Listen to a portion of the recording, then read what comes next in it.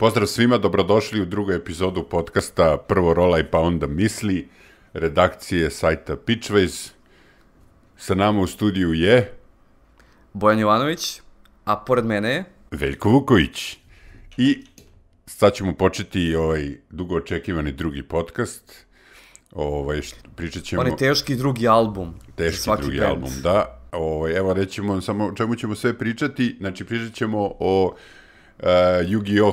Nationalsima u Beogradu, pričat ćemo o 45. Origins nagradama, proći ćemo naš, uh, neke nedeljne vesti koje su se desile, koje su objavljene u, u uh, posljednje dve nedelje. Uh, pričat ćemo o nekim Kickstarterima i najlepši segment pričat ćemo o igrama koje smo igrali ovaj, u prethodne dve nedelje, ne zato da bi vama ispričali šta to sve ima lepo, to možete sve i da čitate, nego da mi ne bi zaboravili šta smo igrali i šta treba da uradimo, ovaj, koje recenzije treba da uradimo. Šalim se.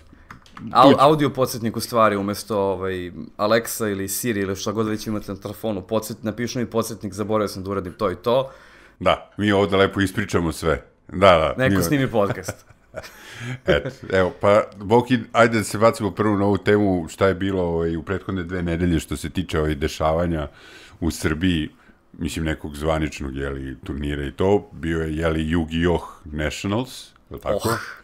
Yu-Gi-Oh! Ah. Yu-Gi-Oh! Yu-Gi-Oh! A što kažem Yu-Gi-Oh? Yu-Gi-Oh! Yu-Gi-Oh! Dobro. Uh, Yu-Gi-Oh! je inače, ja iskreno ne znam koliko godina o, popularan kod nas u svetu, nebrojeno mnogo doda- dodataka izašlo do sada za igru i i dalje igra ima veoma veliku, veoma jaku scenu kod nas. Što nije nešto što, da kažemo, čujete svaki dan, jer uglavnom svi misle Yu-Gi-Oh! crtana serija, pardon, anime, koju uglavnom gledaju mlađi, i onda sad kao kartična igra, pa uglavnom je kupuju oni mlađi. I onda se desi ono što, u principu, bilo kakav bitni turnir, odnosno najveći turnir na Balkanu, Nationals. Tačnije, to su bile kvalifikacije za evropsko prvenstvo u Yu-Gi-Oh! koje će kraj meseca biti održano u Nemačkoj u Utrehtu, a u klubu Crni zmaj u Beogradu održano je to nacionalno prvenstvo sa posjetom od čak 60 igrača. Ne znam koliko je bilo na prethodnim takmičenjima, možda više, možda manje. Standardno su već advanced format sa najnovijim listama karata koje smete i ne smete da igrate i sistem gde odigrate šest rundi, a onda ako ste u osam najboljih, onda idete u playoff. Pošto je ovo bio zvanični Konami turnir, koji izdavač igre, jel te? Ako niste znali. Obezbeđene su bile i veoma vredne nagrade, što više prvih 16 igrača je dobilo nagrade. Uh, od njih prvih osmora, pomenuti playoff, su dobili poziv na evropsko prvenstvo. Pobednik Denis Burzić je naravno dobio direktno ulaz na evropsko prvenstvo, put, smešta i sve to.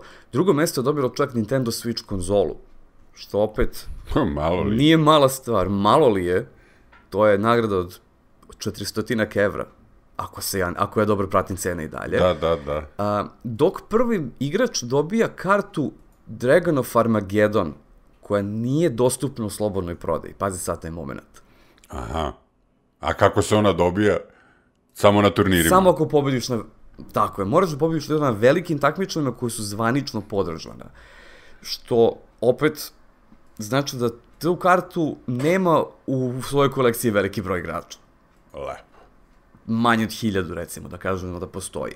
Ne znam sad u duše da li je ta karta zvanično dostupna da se igra na turnirima ili je pokaže drugarima kako ćeš u jednom potezu da imunišeš ceo dek. Verovatnije je ta varijanta. A misliš digne u vazduh sto, ono sedne i kaže igram e, zmaja. Da, i onda onako duneti vetar u lice i odleti sve sa stola. Pa bolje bi bilo za soma evra koliko je karta da to uradi, inače... Pa, da. Kad već nemamo holograme koji si bio na stolu. Mislim, ljudi, imamo VR u kući i Yu-Gi-Oh! još uvijek nema holograme, meni to nije u redu. To nekako nije fair. Nije fair, da. Nije. Nije fair. Da za, zaokružimo ovaj deo, zaista velik turnir u igri koja i dalje pokazuje da je kod nas veoma popularna i to uglavnom među starim tinejdžerima i starijom publikom, što znači da to što se serija vrti ili ne na domaćim televizijama ne utiče ni na šta. Jednostavno, Yugi je popularan i Yu-Gi-Oh! će se uvek igrati kao i Magic, kao i druge, kao i Warhammer, na kraju krajeva, jer to su igre koje jednostavno Traju. Da, koliko sam ja razumeo, pričao sam sa organizatorima tog turnira i iz kluba Crnog zmaja, oni generalno imaju dobru posetu tokom radnih dana i tokom nedelje i vikendom za igranje Yu-Gi-Oha nevezano, Yu-Gi-Oh, Yu-Gi-Oha, nevezano od um, da li je neki turnirski dan ili um, Nationals turnir kao što je sad bio, nego ljudi dolaze i igraju i ako želite to da igrate, uvek možete da počnete, uvek, uvek ćete lako naći nekog protivnika, uvek neko sedi u klubu i igra. Baš tako, Crni zmaj je kod nas poznat kao klub gde se, koji je centralni za Yu-Gi-Oh! Tako da me ne iznenađuje što je glavni turnir odoružan kod njih. E sad što se tiče evropskog prvenstva, Denis će igrati od 28. do 30. juna, a onda ako se tu dobro bude plasirao, čeka ga svetsko prvenstvo u Berlinu 10. avgusta. Sjajno, sjajno. Pa nekad nek vidi kako je protiv drugih ovaj, svetskih Naravno, igrača. To je dobro iskustvo, može posle da Naš, nastavi. Naši board gameri su se već posljednjih godina pokazali kao jako dobri igrači Katane, Carcassonne, tako da vidimo, možda smo i među najboljim u Yu-Gi-Oh, a nismo znali. E, da, možda. Eto. Eto. Kad već inače pričamo o nagradama, takmičenju i svime tema, svime to, svemu tome. Svi mini, mini, mini. Mini, mini. Takođe, u proteklom periodu dodeljene su isto jedne jako bitne nagrade za jednako bitne društvene igre, a to, ćeš, to bih ostavio tebi da nastaviš. Prošle nedelje se desio Origin sajam u Kolumbusu, Ohio i kao i svake godine dodeljene su Origins nagrade. Ovo su 45. po redu. Bilo je uh, 11 kategorija, 11 nagrađenih, proći ćemo malo kroz te igre koje su dobili nagrade i ovaj, pričat ćemo još nekim drugim stvarima. Prvo bi se uh, osvrnuo na takozvani Hall of Fame. Origins Hall of Fame nagrada je pripala Vladi Hvatlu, su osnivaču Czech Games Editiona i ovaj, dizajneru mnogobrojnih igara, a isto i u Hall of Fame ušla i njegova igra Mage Knight, tako da eto u paketu to ide. Tu je i igra Apples to Apples izdavača Mattel, ko ne zna šta je Mattel, taj nije bio mlad. Šalim se, to su uh, i autići, ja mislim da si Barbike i Mastersi i, i 300 čuda. U principu, ako ste imali neku akcijonu igraču 80 i 90 godina, verovatno je bila Mattel. Da, e pa, Apples to Apples izdavača Metal je ušla u ovaj Hall of Fame i Gerald Broom je uh, takođe ušao u Hall of Fame, to je poznati pisac i ilustrator. Dobro, osim, osim toga što svake godine povećavaju taj Hall of Fame, uh, ove godine smo videli jednu potpuno novu nagradu.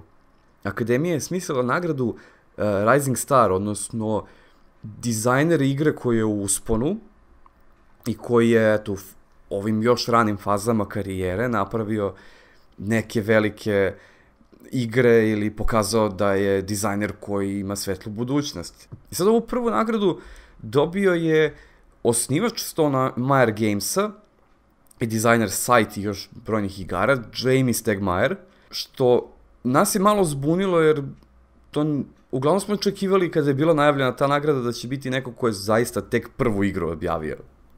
Da, čovjek je na sceni već jedno deset i više godina.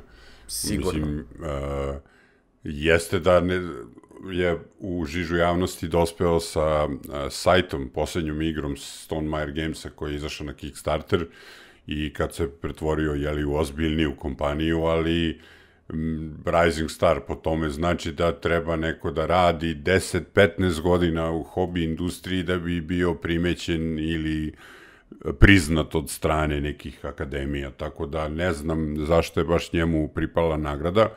Znači, poenta je u tome da on nije uopšte loš dizajner, ne govorim uopšte o tome, nego je on čovjek tu već 10-15 godina, 10, više pre 10 nego 15, ali kako god. Da, ima ima tako oko 10 godina. Znam da Viticulture je dosta starija igra od Sight. Pazi, Sight, ja se sećam da si, da si ga ti nabavio pre 3 godine. A tad je već bio dosta, ne baš sve, najsvežlija igra na svetu. Uh, Sight je poslednja igra koju je Stone Meyer Games izdala putem Kickstartera i onda, su, uh, onda su se prekonfigurisali u normalnu kompaniju koja više ne radi, znači etablirali su se sa imenom, ne moraju više da rade Kickstartere, znači ako on misli da se etablirao sa imenom tada, ne vidim zašto sada Akademija misli da je on kao zvezda u usponu. Mislim da je ta nagrada treba da oda nekom ko je napravio nešto sveže, inovativno, ko je na sceni možda godinu, dve, tri dana, pa ćemo videti.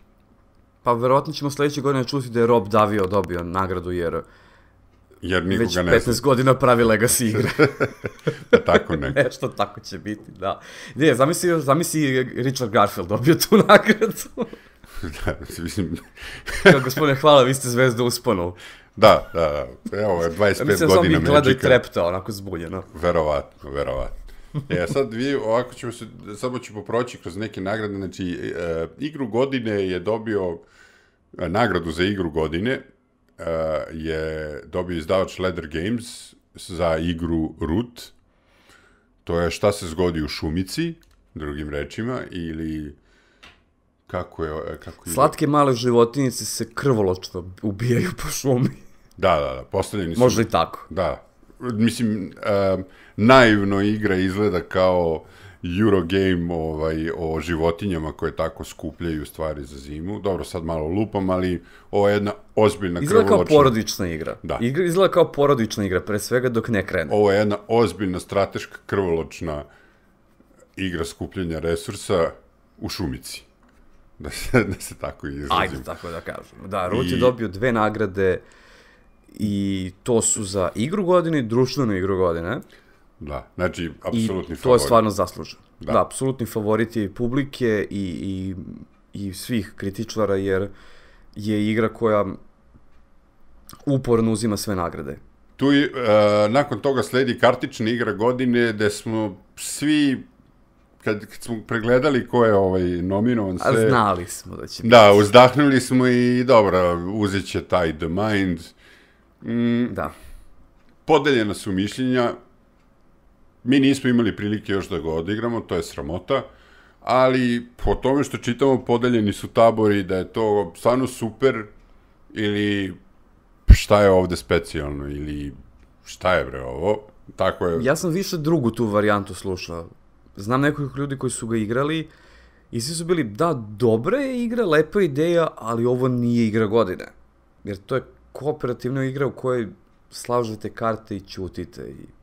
Ja, moj lični stav u društvenim igrama je da ne volim, ne preferiram igre u kojima je ćutanje jedno od e, elemenata igre, jer ovaj, ja kad sednem da igram sa tobom, sa Damjanom, sa Dankom, sa Finsterom, sa Vladom, želim da se prepucavam. Volim da razmenjujem prijateljske uvrede, jel, kao i kad smo na basket terenu. Znači, ne vidim, nekako mi ne prija to da sad ćutimo i sem pantomime, da se razumem. Mislim, to je... Da, da, ali e, mislim pantomima i, i jedna jedina igra mi je isto koja ima ćutanje kao mehaniku. jel to koje mi je bilo, Maze? Ok, Magic Maze, jest. To je igra koja stvarno, dok je ne probate, deluje vam da je bez veze, jer zašto bih ja čutao u brzoj kooperativnoj igri, ali onda shvatite zbog toga što ne možete ništa da govorite, da kipite. I, i onako igra traje par minuta i onda posle toga eksplodirate za stolom. Da, Svi. da, da, da. Znaš, a da Mind nema to, Mind je kao puštajuće iskustvo je i ti sad sediš sa drugom osobom pored tebe, vi sad ćutite i gledate se i Dobro. Ne, nemam bolji komentar na to. A šta ne možeš reći o, o, o T-Dragon Society card game koja je dobila nagradu za porodičnu igru godine? Mislim, sve čajanke su uvek dobre, to moram da kažem, Dobro, ali bolje su one kad ima zmaja. naravno. Jer, mislim, princeze su makar out. i u nas, i makar i u nazivu. Da.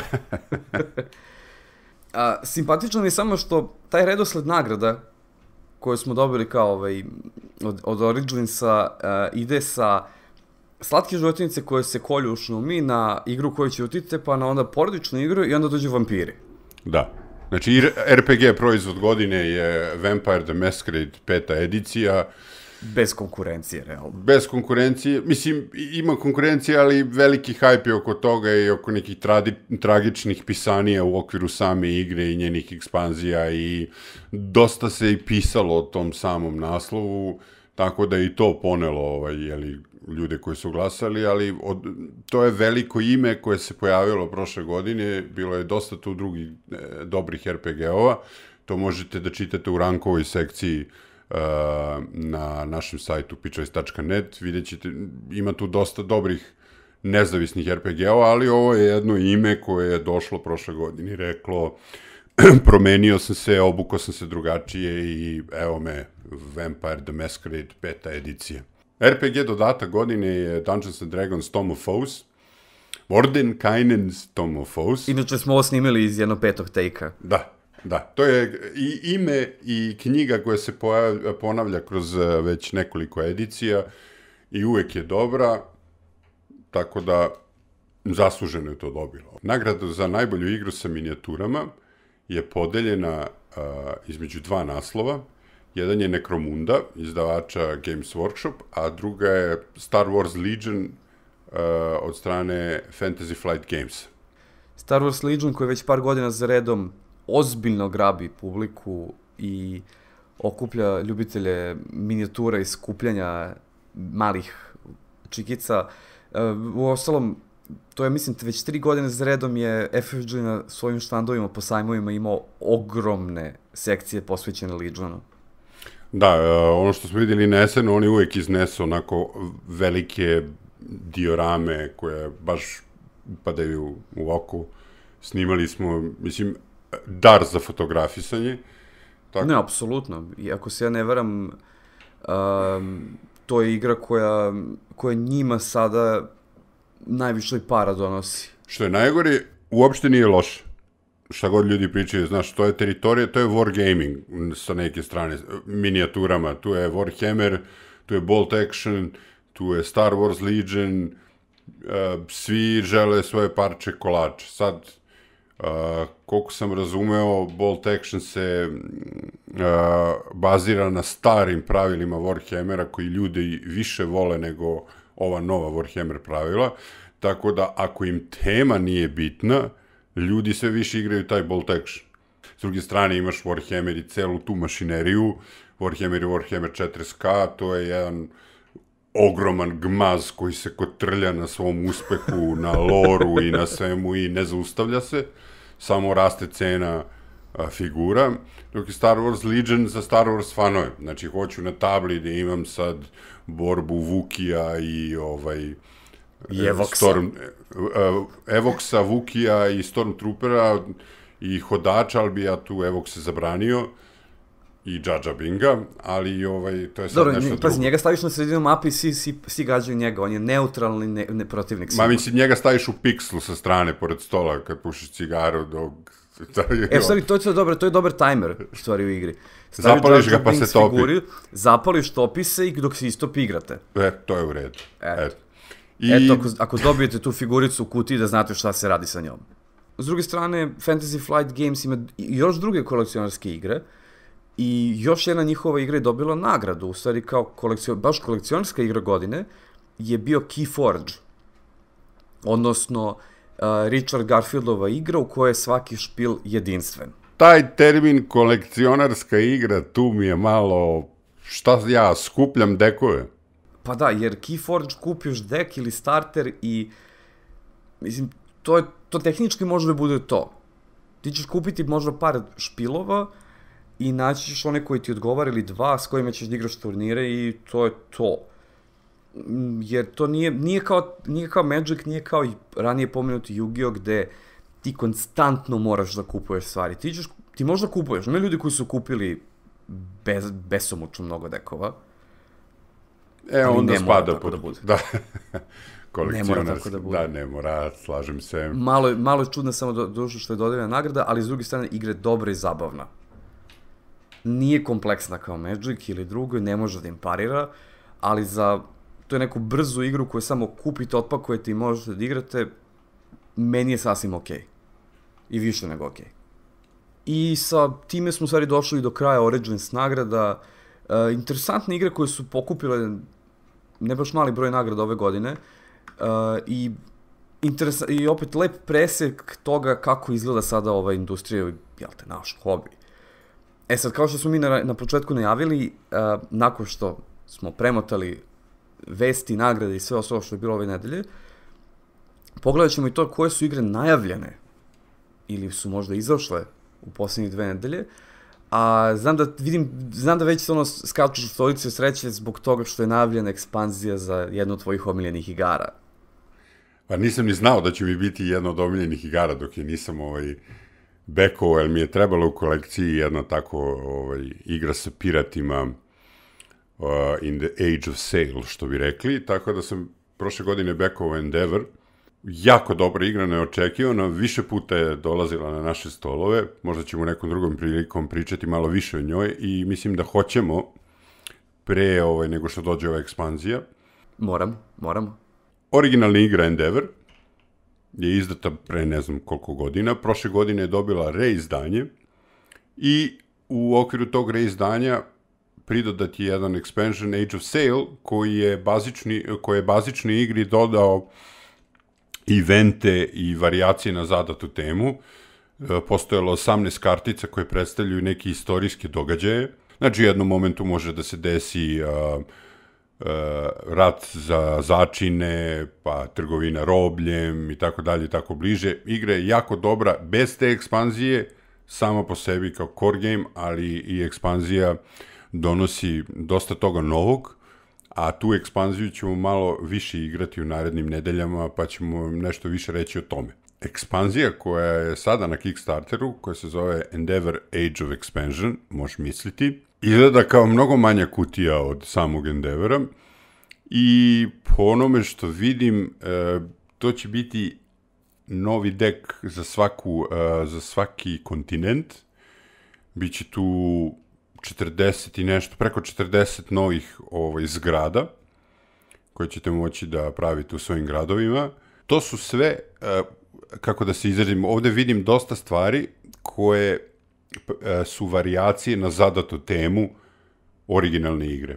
E, tako da mislim da ova ekspanzija može biti jako uspešna i dalje su to u, u kutiji Game Trays koji čine igranje ove igre mnogo lakšim.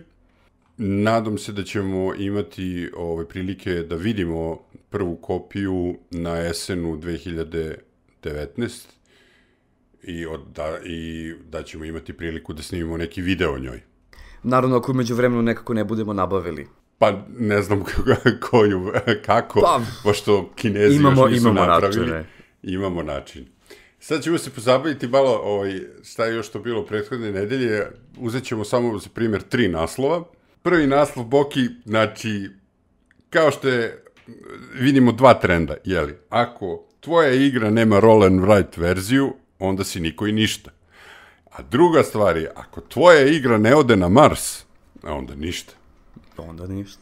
Ako tako? ode na roll and write na Marsu, onda pa nije ova igra o kojoj ćemo sad da pričamo, To je ali jackpot, pun bonus. to je jackpot, da.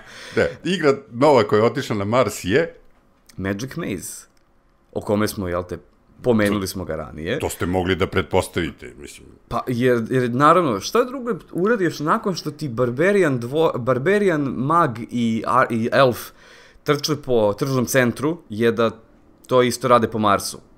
Na- To je baš onako intuitivno. Vrlo, vrlo logičan korak, da.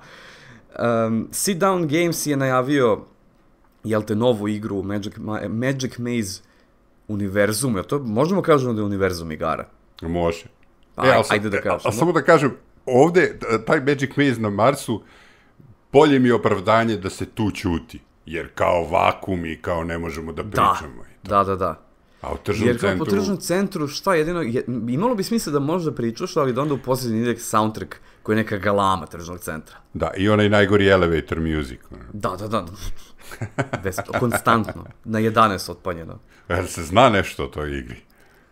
Bukvalno su samo rekli da očekujemo nešto blesavo, svemirske brodove i banane, ne znam kako, ali da će tek narednih meseci na slajmovima uopšte pokazati igru. Dobro, znači za sada samo trešti Đogani i idemo na Mars i ništa se drugo ne zna. Jo bože, da, ajde, ajde da kažemo Pa da je mislim, tako. e, šta drugo reći.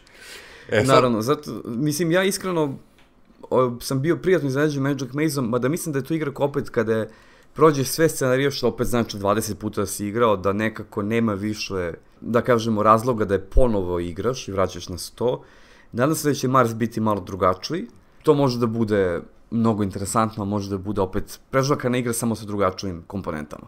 Prošle godine na esenu stalno smo prolazili uh, pored uh, hipstera sa lepo fazoniranom bradom koji drži tablet i videli smo taj naslov Smartphone Incorporated, a iskreno ne znam zašto se uopšte nismo krenuli za njom.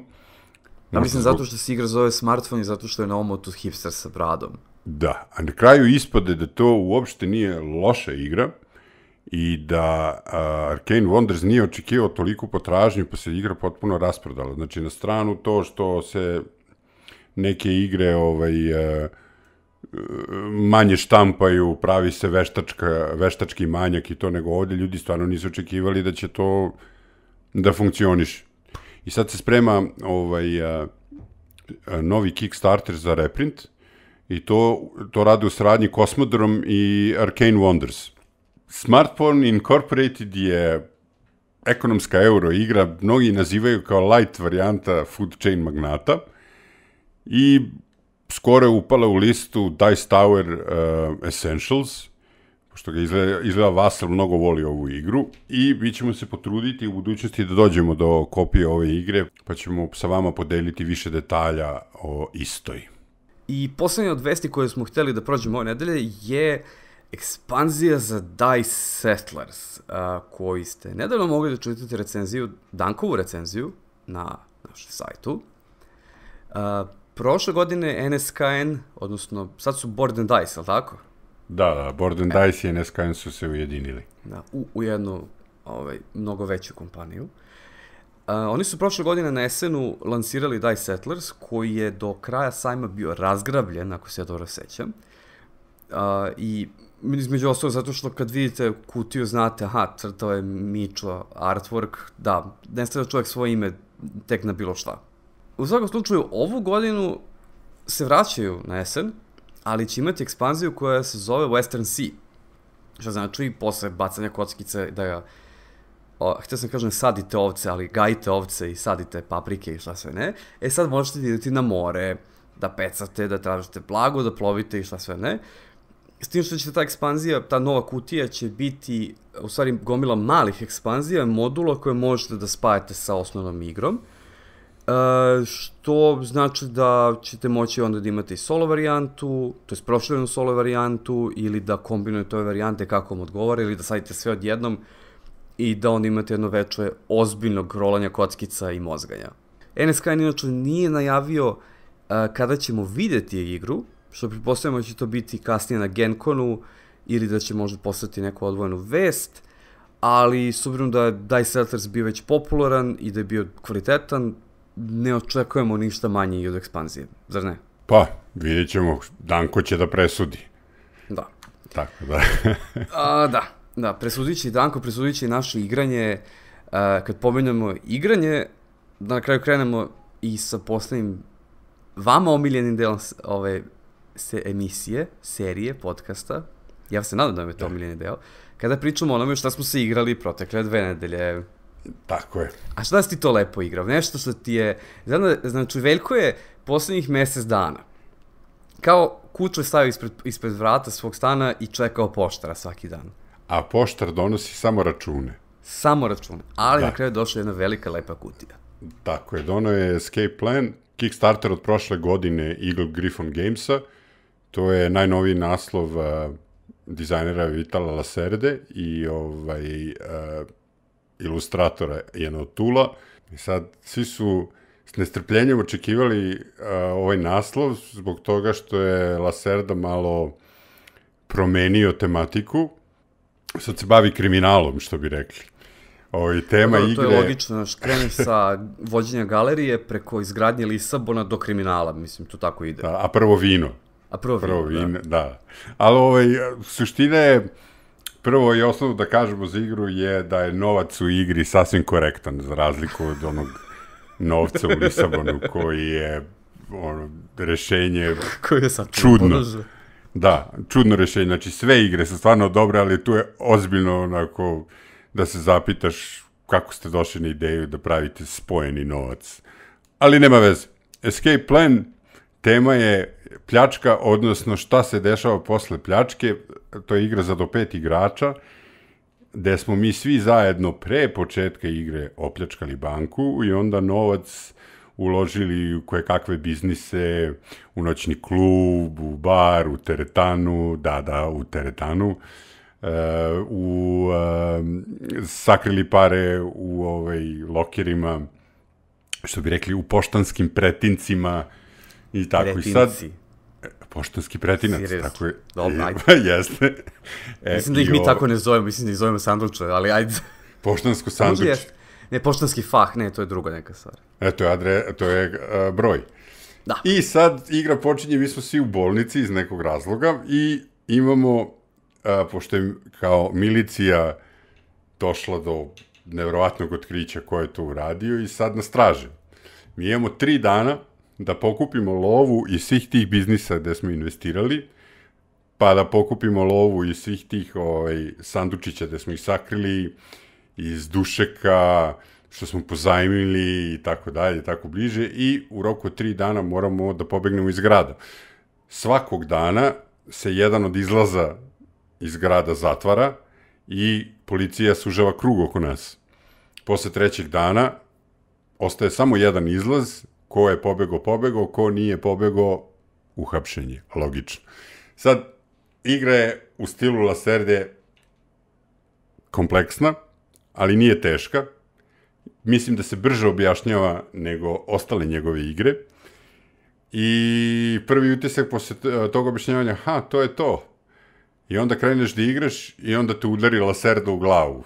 U smislu, pa ja nemam dovoljno poteza da uzmem svu lovu i da zapalim iz grada. Uh, sjajne mehanike i u njegovom stilu mogu samo jednu stvar da uradim, znači jedna jedina stvar koju vi radite je pomerate se sa heksagonalnog polja grada na drugo heksagonalno polje grada gde se nalaze neki od biznisa, prodavnice i tako dalje i tako bliže i u tim, na tim lokacijama radite to što radite. Ne znam, ako je uh, biznis lokacija kao recimo noćni klub, uzmete lovu i uzmete neke kontakte, ako je prodavnica, kupite opremu koja vam treba za izbjegavanje policije ili otključate neko sanduče i opet uzmete lovu ili odete u sigurnu kuću i odatle uzmete lovu, svuda uzimate lovu i neke dodatne um, dodatne aparate koji će vam pomoći da jeli, pobegnete od milicije. Sve u svemu jako dobra igra. Ovo je jedina Laserdina igra za koju ja znam gde može da se ispadne iz igre pre kraja. To sam inače upravo htio da te pitam, I- izvini, a, šta se, je to kao, svi bežite iz grada, šta se na kraju desi Svi sa onim bežimo, ko ne znači- pobegne? Da. Prvo, prvo i osnovno je, imaš tri rane i biju te panduri od kojih bežiš i šta ti ja znam. Ako te dovoljno puta navataju, dobijaš lisice. Ako dobiješ dovoljan broj lisica, ti si automatski ispao iz igre. Ako, tako, ako toliko ludo igraš, mm. možeš da ispadneš i pre kraja ta tri dana. Ali, ono što, što je važno, kada prođu ta tri dana, treba da se zapali. Naravno. Znači, svi, trud, svi se trude da u poslednjem krugu dođu do tog izlaza. Dođeš do izlaza i svi koji su izašli, prebroji se koliko para imaju i ko ima najviše para je, pobeg, e, je pobedio. Mm -hmm. Ali ako ne pobegneš iz grada, ti si automatski izgubio. Što će reći da mogu i svi da izgube, a može i jedan da izgubi da mu se uopšte ne broji lova, što se i meni desilo, ili u prvoj partiji. I onda, mislim, to nije toliko strašno koliko da ispadneš iz igre ono, prvih pola sata igranja i kao ništa ne radiš posle.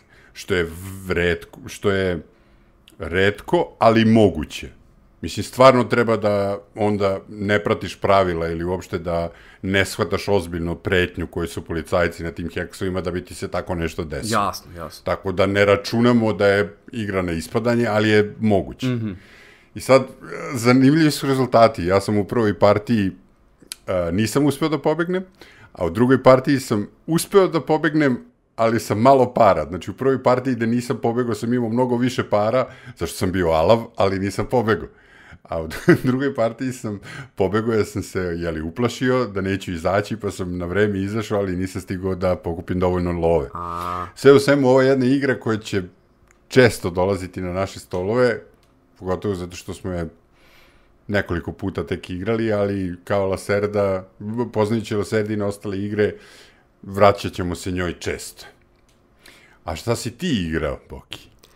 Meni inače posjetilo moment kad si rekao nemam dovoljno akcija, na, a, mislim nije me posjetilo, nego još jedna takva igra za koju je baš poznato, poznato nemaš dovoljno akcija, Above and Below. Mm -hmm. Odnosno, a, gradimo naše malo selo u Galiji i idemo ispod zemlje i lomatamo se po pećinama. Aha. Samo da kažemo da je to dizajn radio Ryan Lukat i da je... On je uradio celu igru sam. To je, Da, da, kao i obično. Lukat je, ja, ja ne znam, to je, to je ono uber genije izgleda. Čovek kompletno dizajnira svoje igre sam, piše ih, e, crta sve ilustracije i sam ih izdaje, je li tako? Da, to je izdaje za njegovu izdavačku kuću. To... One man show potpuni. One man show. U svakom slučaju, uh, igrao sam, imao sam priliku to da probam. Igra mi se jako svidela.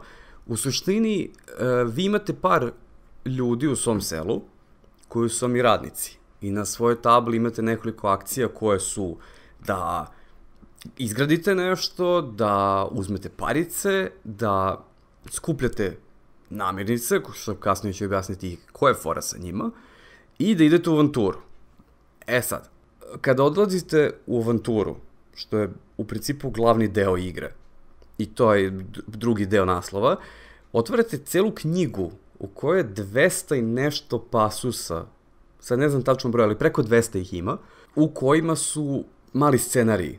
I sad imaš jedan špil koji ti je, a, iz koga izvučeš prvu kartu i ona ti kaže imaš brojeve 1, 1 do 6, koliko, koliko ima stranica na kockici, bacaš kockicu i tu ti pored piše koji segment iz knjige čitaš. I sad recimo ti kažeš, otišla si u pećinu, našla si lavu, pored lave sedi neko čudo i šta ti uradiš tu? I onda ti da dve do tri opcije koje možeš da radiš. Ima dosta rolanja kockica. Tako da nije baš, jeste euro igra, ali mislim da će ljudi koji isključivo igraju heavy igre i euro igre da će, malo, da će mi se malo dići kosa na glavi zbog toga. Jer svaki vaš lik ima naznačeno ko je, ko, e, koliko uspeha, odnosno koliko fenjera dobiješ kad izrolaš određeni broj ili veći na njegovoj kockici. I onda želiš da, po, da vremenom povećaš svoje selo, da bi onda izrolao više uspeha, jer ako ne znam, imaš situaciju kad ti kaže a, da li ćeš da siđeš u mračnu rupu i da se biješ sa nečim i to ti treba recimo 7 ili 8 komada. Što znači da moraš gomilu ljudi koji ti inače bi ti gradili kuće ili radili nešto drugo po selu, moraš da ih povedeš u avanturu, ali ti ne znaš šta će biti. Tako da ima taj moment malo kockanja i igranja na sreću. E sad, fora tome što ti gradiš i gornji i donji deo svog sela. Gornji je standardno kućice koje imaš na jednom delu table, a na drugom delu, o, to je pored table, imaš kućice koje možeš da gradiš samo ispod zemlje, ali moraš prvo da iskopaš toliko, ovaj, to jest da nađeš, da otvoriš toliko ovih karata pozemnih, da bi na njih gradio podzemne kuće. Aha. I sad te to, bukvalno igra jedna, jedna stvar vuče drugu. A, moraš da istražuješ da bi imao kuće, ali istraživanjem takođe možeš da dobiješ resurse koje staviš na te kuće, ili kad izgradiš kuću, oni na sebi ima neki od, ja mislim, 9 ili 10 tipova resursa, pa onda na tabli imaš polje kojim kupiš te resurse i stavljaš na tablu i hoćeš da imaš sve različito, to ti povećaju onda parice koje ti stižu u sledećem krugu i na kraju Victory poena ti sve daje, što dalje doguraš na, toj tab, na tom delu tablu, to je više Victory poena. Neke kuće isto daju Victory poene, to jest sve daju, svaka daje po jedan, ali neke još dodatno daju poene, imaš neke jako skupe koje ti daju bonuse na druge stvari, ko, sve povezano jedno sa drugim. Meni se mnogo svidao moment kad potrošiš radnike, ne možeš sve tek tako da ih vratiš nazad Aha. da rade, nego se oni umore. E sada, e, izgradnjom kućica, neke od njih imaju dodatne krevete. I sad koliko kreveta ti imaš, toliko ljudi će ti se biti, će ti biti odmorno za sledeći dan. A, lepo, lepo. I ko je pobednik? A, pobe, gledaju se Viktori Poeni, znači imaš A. nekoliko stvari. Nas je Damjan solidno pobedio, kad smo igrali poslednji put. A, recimo, on je išao na taktiku da gradi gomilu kuća i da onda iz, samo skuplja pare da bi kupio naj, jednu od najskupljih kuće koje, daje, koje duplira bonuse od njih. Tako da ima, ima nekoliko dobrih taktika u igri. Ono što sam htio da kažem isto, zašto sam sorry, odmah se ovaj, povezao na Veljkovu priču o escape planu, opet, kao i escape planu, nemaš dovoljno vremena da uradiš sve. S tim što ovde smo mi malo više imali osjećaj da nekako se igra prerano završi i da tek kad postane zanimljivo, tek kad imaš dosta ljudi i kada si počeo da kopaš po knjizi, da se samo prekine igra. Jer on ima fiksan broj krugova i to je to. Pa dobro, to te možda privlači da igraš ponovo, pa drugačije da, ili već. Da, da. Ima to i prednosti i mane. Naravno. Čuo sam od ljudi koji su prolazili pored nas kad smo igrali, uh, neko ima, neko je napravio house rule da prođu jednom do kraja te staze, koja je broj krugova, onda idu nazad. Aha. I onda faktički igraju duplo duže igru, ali onda na kraju imaš brdo stvari koje si uradio, možeš da kupiš dosta ovih bonus kuća, jer uglavnom ne možeš da kupiš te, te endgame bonus kuće. Jednu ćeš moći da kupiš. Lepo. Od ovih skupljih. Jer pare ti uglavnom fali, pare ti trebaju za sve i onda... To je ta, tačno je, možda malo je samo treba uh, taj moment um, oko ekonomije da sredi, jer imao, imao sam osjećaj da nekako imam poteze koji nisu ništa specijalno. I da onda moraš da gubiš potez da bi uradio jedan potez koji je baš dobar. Kada smo već kod poteza koji nisu ništa specijalno, mm -hmm. ja sam imao prilike da igram uh, Moonbots, to je novi naslov uh, Blue Orange-a za 2019. godinu. To je jedna mala kutija za do četiri igrača, uh, gde smo ovaj, se svi skupili za godišnji Moonbot turnir u kome se šopaju roboti. I igra izgleda onako obično što bih rekao, ali kada kreneš da igraš nema stajanja. Mislim imaš četiri table u kome, četiri onako udubljene table, gde, ti, gde je predstavljen tvoj robot, glava, telo, dve noge, dve ruke, i imaš sa strane slajder na kome je tvoj, tvoj životni poeni, jeli, sa 20 se počinje, recimo, ne znam, više, ali zeleno, žuto, crveno, onako linija i sad imaš svoj health, imaš četiri kockice i na sredini stola imaš uh, tablu sa gomilom karata koje možeš da kupiš. Najjeftinije ne koštaju ništa, malo skuplje koštaju tvoju životnu energiju i one najskuplje koštaju dve životne energije. Cela fora je, baciš kockicu i šta si dobio na kockici, gledaš na, ruk, na rukama, nogama, glavi ili već gde, šta tu kaže. Recimo, moj robot je imao da na desnoj ruci, ako izrolam šesticu, šopam po izboru nekoga za jedan health. Ili stoji na nozi kada dobiješ 2, 4 ili 6, šopaš nekoga za 2.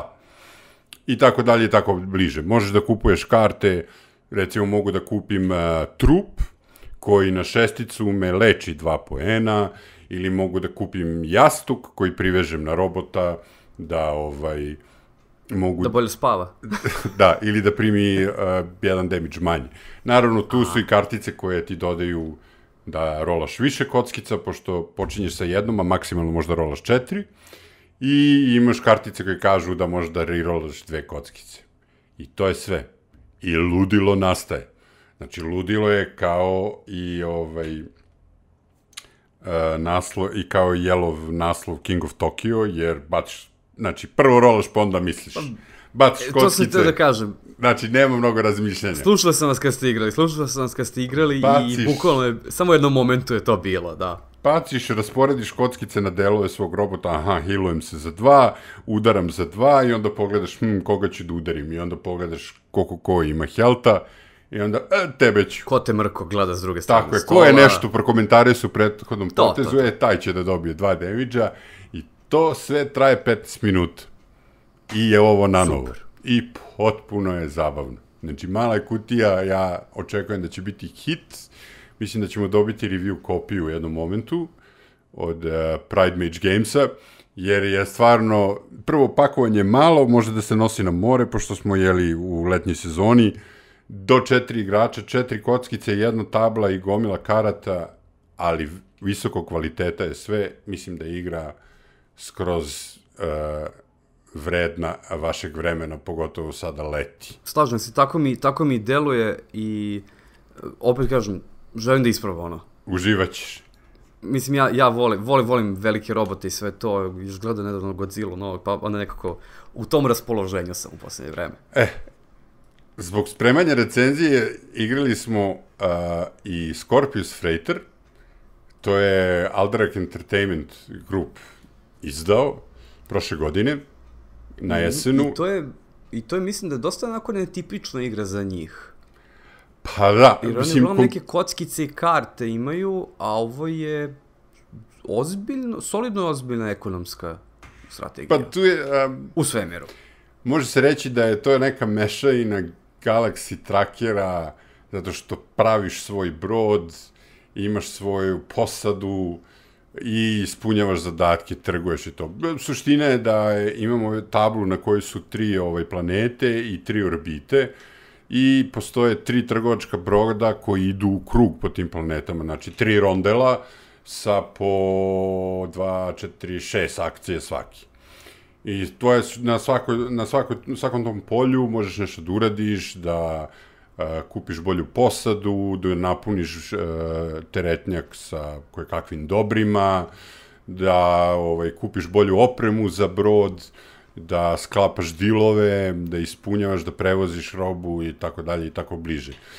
I uh, svaki, puta, svaki put kada taj brod napravi pun krug oko te orbite, u njega se ubaci jedno dobro i to onaj ko je prošao on mora da plati jer je ovaj e, carina odlučila da ga proveri i čim se jedan od tih brodova napuni do šest, igra prestaje, prebroji se, prebroje se Viktori poeni i idemo novo.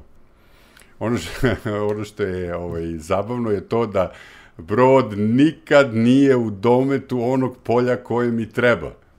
Kako Da, da, da, da. god da postaviš. Znači, ima tri rondela.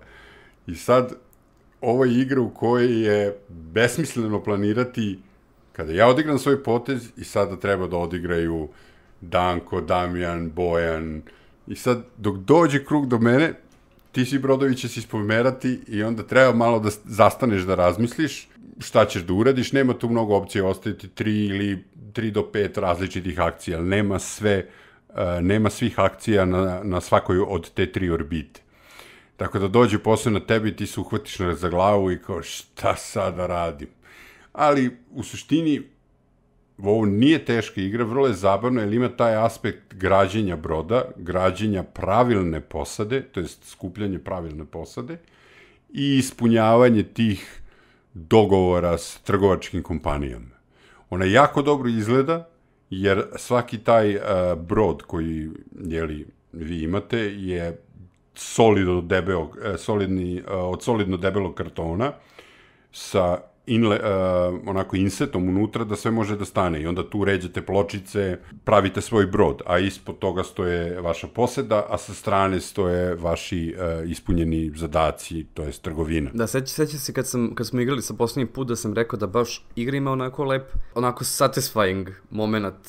I tačno kao da ugrađuješ u brod Jeste. module, ima sve ako klikne I lepo. kutija je leku, lepo upakovana, tako da ima mesto Brzo se, se, brzo se postavi igra na sto. Da, da, ikonografija u samoj kutiji tačno kaže ovde ti idu ove pločice, ovde ti idu ove pločice, tako da kad igra počne, spustiš tablu centralnu, daš svima po jedan brod i sve te pločice izvadiš iz, ovaj, iz svojih udubljenja, iz kutije i poređaš ih na tabli gde treba i odmah se kreće. Podele se posada i igramo se.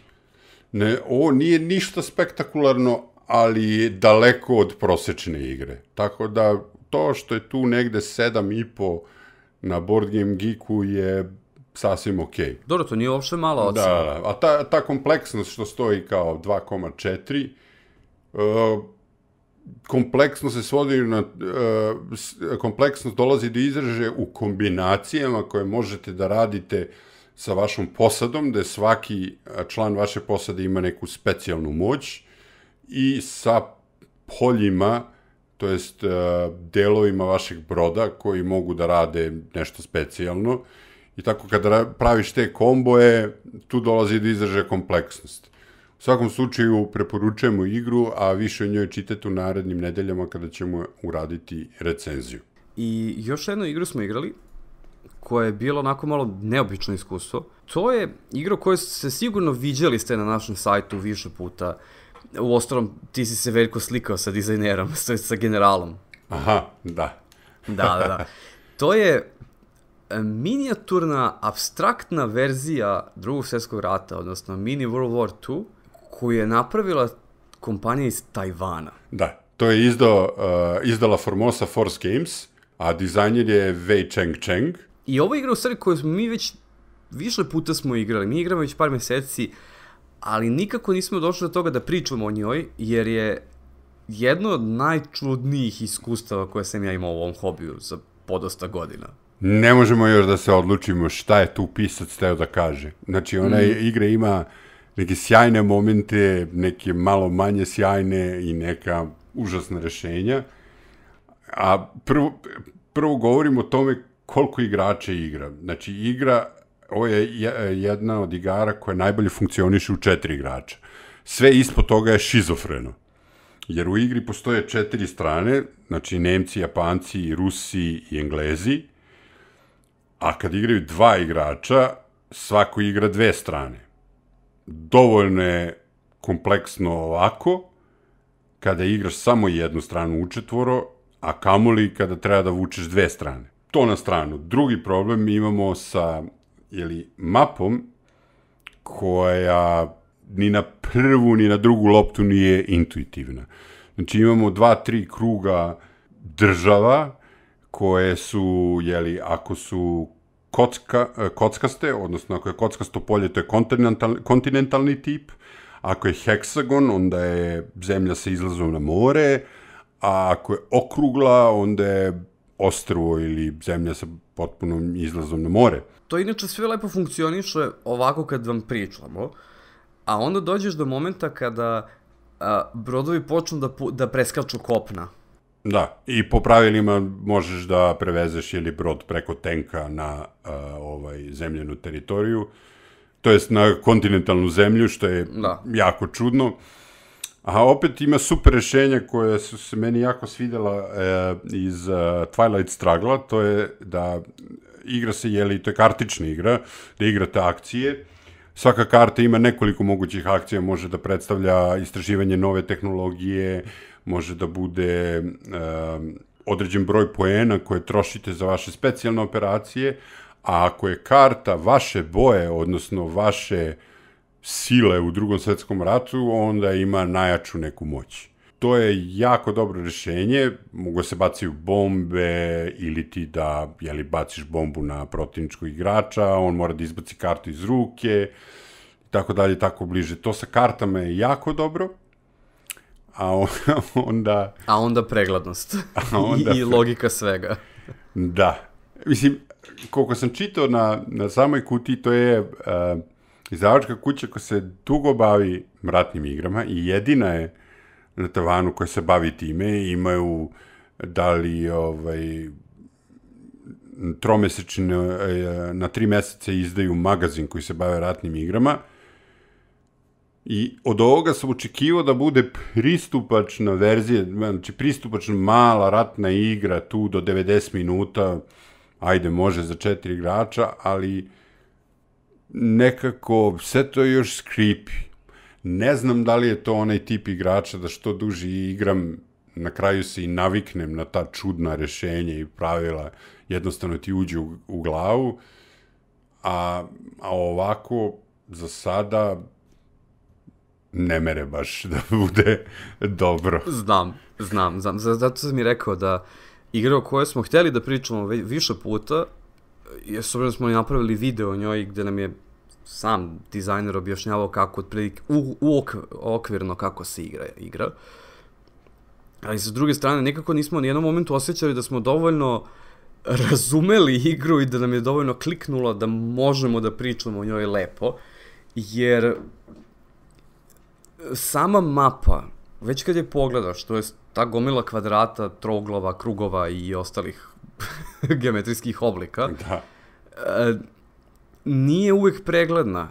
Neke teritorije se graničile sa drugima, ali se to predstavljeno time što u ćošku imaju malu ikonu, malu, malu zastavicu te zemlje s kojom se graničile, ali nisu jedna pored druge i onda uh, onda kao, ne, ne možeš da shvatiš kao kako to sad ide jedno s drugim. Mislim, to na pravoj mapi sveta jeste, ali o, ovo je, ide u krug. A, a onda neke, prosto mi neke frakcije nemaju smisla. Rusi imaju, na primjer, brdo tenkova i jedan brod. I taj brod ne može da mrdne iz Ukrajine.